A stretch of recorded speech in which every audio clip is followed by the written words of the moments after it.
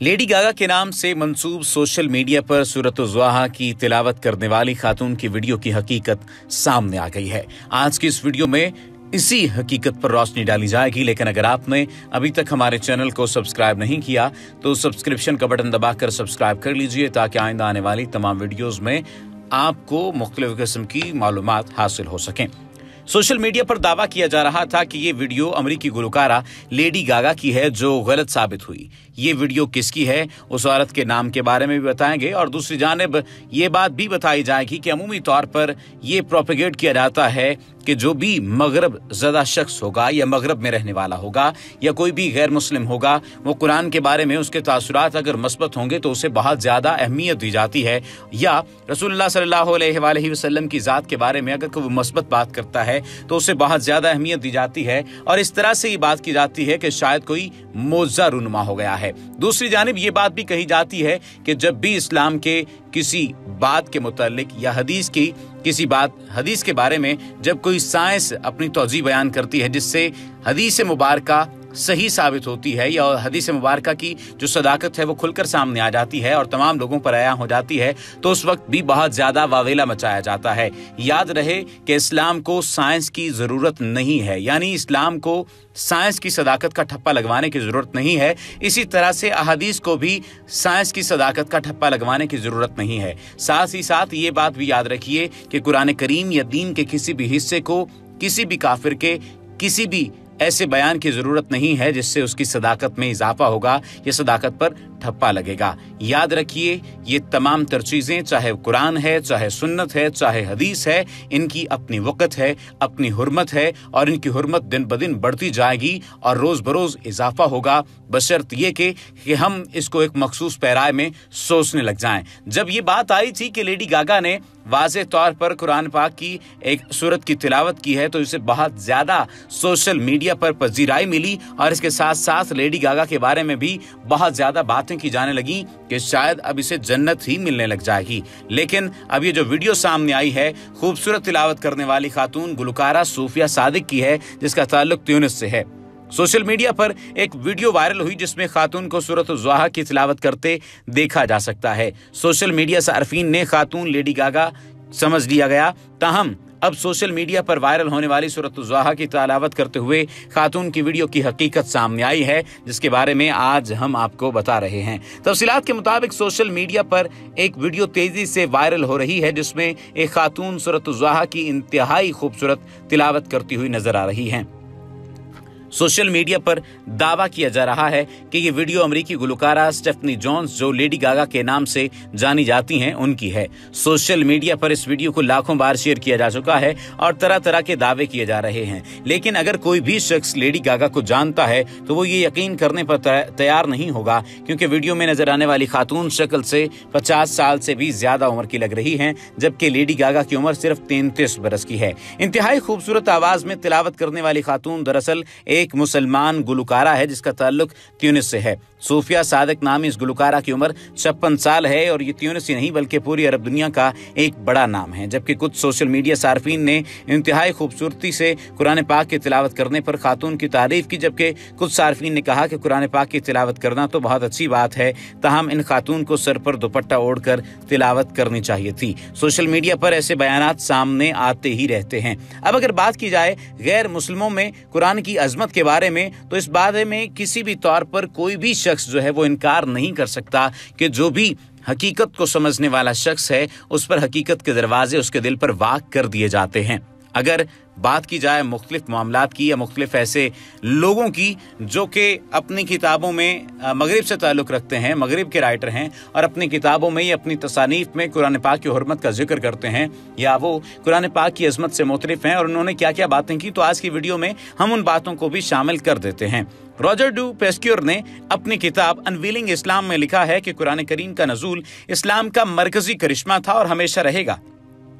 آج تک ایسا ایک بھی شخص سامنے نہیں آیا کہ وہ اپنے اس بیان کا دفاع کر سکے کہ ساتویں صدی کے ابتدائی دور میں تجارتی کا رواں کوئی شخص تجارتی کارواں کا کوئی شخص خود اپنے طریقے سے ایک ایسا شاندار اور مثالی نظام کیسے مرتب کر سکتا ہے جس میں اتنی جانکاری اور دانش مندی ہے جو کہ موجودہ وقت کے نوع انسانی کے تصورات سے بھی بالا تر ہے۔ جے ایم روڈ ویلس کی کتاب دی کورن کے پیش لفظ میں جی مارگلت نے لکھا ہے کہ حالانکہ مذہبیات اور دینی علوم میں دور ساز کارنامہ انجام دینے والی یہ آخری مقدس کتاب ہے۔ تاہم اس کے قوی اثرات آج تک کسی سے بھی مغلوب نہیں ہوئے ہیں اور کثیر تعداد میں لوگ اس کے پیغامات سے متاثر ہوئے ہیں۔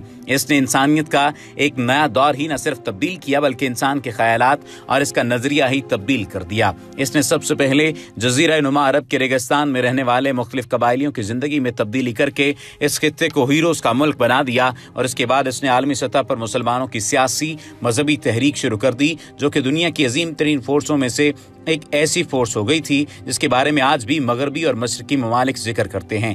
تھائی لینڈ کے شیونگ مئی میں واقع یونیورسٹی میں تشریح الاعضاء اور علم الجرین شعبہ کے سابق سربراہ پروفیسر تگا تگاسون، جو کہ اس وقت university of college of medicine کے ڈین ہیں، ان کا کہنا ہے کہ اپنے مطالعات سے میں اس نتیجے پر پہنچا ہوں کہ میں یہ بات یقین کے ساتھ کہہ سکتا ہوں کہ چودہ سو سال قبل جو بات قرآن کریم میں درج کر دی گئی تھی، وہ حرف بحرف سچ ہے، جسے سائنس کے ذریعے ثابت بھی کیا جا سکتا ہے۔ چونکہ پیغمبر حضرت محمد محمد صلی اللہ علیہ وآلہ وسلم امی تھے لہٰذا لازمی طور پر وہ پیغمبر ہی ہوں گے جنہوں نے اس سچائی کو افشاں کیا تھا۔ اس کائنات کے خالق نے ہی آپ صلی اللہ علیہ وآلہ وسلم پر وہی نازل فرمائی تھی۔ میں سمجھتا ہوں کہ اب لا الہ الا اللہ کہنے کا وقت آ گیا ہے، جس کا مطلب یہ ہوتا ہے کہ عبادت کرنے کے لیے اللہ کے سوا کوئی معبود نہیں ہے اور محمد رسول اللہ صلی اللہ علیہ وآلہ وسلم اس کے نبی اور پیغمبر ہیں۔ قرآن کریم نہ صرف سائنسدانوں اور ماہر تعلیم کو دعوت دیتا ہے، بلکہ اس کا پیغام ہر شخص تک پہنچتا ہے تاکہ وہ اسلام کی تعلیمات اور اس کے پیغامات سے آشنا ہو جائیں۔ برطانیہ کے سابق پوپ سٹار یوسف السلام المعروف کیٹ سیون کا کہنا ہے کہ ہر چیز میں بہت سی مسلحتیں ہوتی ہیں اور قرآن کریم کی یہی خصوصیت ہے۔ یہ آپ کو غور و فکر کرنے کی دعوت دیتا ہے۔ جب کبھی میں قرآن کریم کی تلاوت کرتا ہوں تو میں محسوس کرتا ہوں کہ عبادت ہمدردی اور سخاوت کا درس دیتا ہے۔ اور ابھی تک میں مسلمان نہیں تھا، لیکن اب میں یہ صرف محسوس کرتا ہوں کہ میرے ہر سوال کا جواب صرف اور صرف قرآن کریم میں موجود ہے جسے اللہ تعالیٰ نے مجھے عطا کیا ہے۔ دنیا میں ایسے ہزاروں اور لاکھوں انسان ہیں جو کہ اس مقدس کتاب کا مطالعہ کرنے کے بعد مشرف با اسلام ہو گئے ہیں۔ اسی طرح کے لوگوں میں سے ایک علی سلمان بینوس ہے جو کہ جرمنی میں میڈیسن کے ایک ڈاکٹر ہیں۔ مشرف با اسلام ہونے کے بعد انہوں نے کہا کہ اسلام کے تعلق سے میری گفتگو کا لازمی اور حتمی عنصر کا محور قرآن کریم ہی ہوا کرتا تھا۔ مغربی دانشوروں کے تنقیدی نظریے کے ساتھ بات چیت کرنے سے پہلے ہی میں نے قرآن کریم کا مطالعہ شروع کر دیا تھا۔ اس مقدس کتاب میں خصوصی آیات موجود ہیں۔ قرآن کریم جو کہ چودہ سو سال قبل نازل ہوا تھا، وہ بالکل اس طرح کے نظریات اور تصورات ہمارے سامنے پیش کرتا ہے، جن کی تصدیق نہایت جدید سائنس کی تحقیقات سے ہو گئی ہے۔ دراصل یہی سبب تھا کہ میں مشرف با اسلام ہو گیا تھا۔ امریکہ کے سیف الدین ڈرک والٹر موسک نے دیگر مذاہب کی مقدس کتابوں سے قرآن کریم کا موازنہ کرتے ہوئے کہا تھا کہ میں نے ہر ایک مذہب کے مقدس صحیفوں کا مطالعہ کیا ہے، کہیں بھی مجھے اسلام جیسی کاملیت اور فضیلت نظر نہیں آئی۔ میرے مطالعے کے مطابق مقدس قرآن کریم کا کسی دیگر صحیفے سے موازنہ کرنا سورج کو روشنی دکھانے کے مترادف ہے۔ مجھے امید قوی ہے کہ کوئی بھی شخص جو کہ کشادہ ذہن سے اللہ تعالیٰ کے کلام کا مطالعہ کرے گا، وہ یقینی طور پر مسلمان ہو جائے گا۔ قرآن کریم میں جن حقائق کا ذکر کیا گیا ہے، ان میں سے کچھ کو حالیہ دنوں میں سائنسدانوں نے دریافت کیا ہے۔ اس سے یہ بات ثابت ہو جاتی ہے کہ بے شک قرآن کریم اللہ تعالیٰ کا وہ کلام ہے جو کہ پیغمبر حضرت محمد صلی اللہ علیہ وآلہ وسلم پر نازل ہوا تھا۔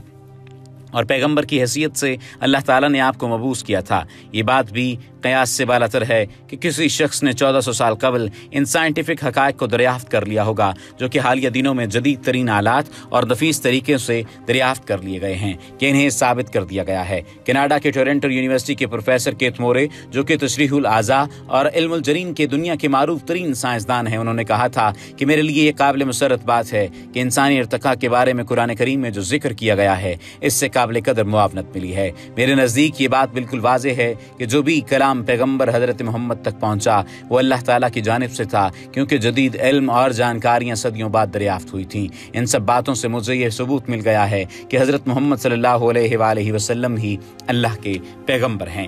جہاں تک مسلمانوں کا سوال ہے تو اخلاقیت اور عملی ضابطوں کے ساتھ ساتھ اسلام ایک عقیدے والا نظام ہے، جن کا منبع قرآن مقدس میں مضمر ہے۔ قرآن کریم میں اللہ تعالیٰ فرماتا ہے کہ در حقیقت قرآن راہ رہنمائی کرتا ہے اور دوسرے راستوں کے مقابلے یہ زیادہ شفاف راہ راست دکھاتا ہے۔ اللہ تعالیٰ مزید فرماتا ہے کہ ہم نے تم پر ایسی کتاب نازل کر دی ہے جس میں تمام مسائل کا حل موجود ہے۔ قرآن آیات میں مذہبی عقیدے کے اصولوں، اخلاقی اقدار اور عمومی قانونی نظام کا ذکر کیا گیا ہے، جو انسانی برتاؤ کے تمام پہلوؤں کا احاطہ کرتا ہے۔ انگریزی ادب کی معروف شاعرہ اور مفکر سروزنی نائڈو اس بات سے اتفاق کرتی ہیں کہ قرآن کریم میں مکمل ضابطہ حیات ہے۔ ان کا کہنا تھا کہ اسلام کے عدل و انصاف کے تصورات بے مثال ہیں، کیونکہ میں نے قرآن کریم کا مطالعہ کیا ہے اور اس میں مجھے زندگانی سے متعلق متعلق متحرک اصول نظر آتے ہیں۔ حالانکہ وہ صوفیانہ نہیں ہیں، تاہم وہ تو معمولات زندگی کے عملی اخلاقیات پر مبنی ہیں، جو کہ پوری دنیا کے لیے قطعی طور پر موضوع ہیں اور ہر صورت میں انسان کی رہنمائی کرتے ہیں۔ ویڈیو کے آغاز میں ہی میں نے یہ بات کہی تھی کہ کوئی بھی وہ شخص جو کہ اسلام سے تعلق نہیں رکھتا یعنی مسلمان نہیں ہے، اگر وہ کسی بھی قوم طور پر اس بات کی تائید کرتا ہے یا تعریف کرتا ہے، اسلام کی عظمت کو بیان کرتا ہے، تو اس سے اس کی عزت و عظمت میں اضافہ ہوگا۔ اس سے قطعی طور پر یہ مراد نہ لیا جائے کہ اس کی گواہی کی ضرورت ہوگی اسلام کی عظمت کو یا حدیث کی عظمت کو۔ یعنی یہ بات تو وہ ہے کہ کوئی بھی چھوٹا شخص کسی بڑے کی بات کر کے اپنے عزت میں اضافہ کر لے۔ آج کی اس ویڈیو کو عمومی طور پر یہ سمجھا جائے گا کہ آپ کو پسند آئی ہوگی اور آپ ان خیالات سے بھی آپ متفق ہوں گے۔ اگر آپ کو یہ ویڈیو پسند آئی ہے تو لائک کیجیے، کمنٹ کیجیے اور شیئر کیجیے۔ اور ساتھ ہی ساتھ ہمارے اس چینل کو سبسکرائب کرنے کے ساتھ ساتھ ہمارے دوسرے جو نیا آنے والا چینل ہے جو آ چکا ہے علی فلمز کے نام سے، اس کو بھی سبسکرائب کر لیجیے تاکہ آپ مختصر وقت میں زیادہ تاریخ سے آشنا ہو سکیں۔ اس پر ہم تاریخ سلطنت عثمانیہ کا ذکر کر رہے ہیں۔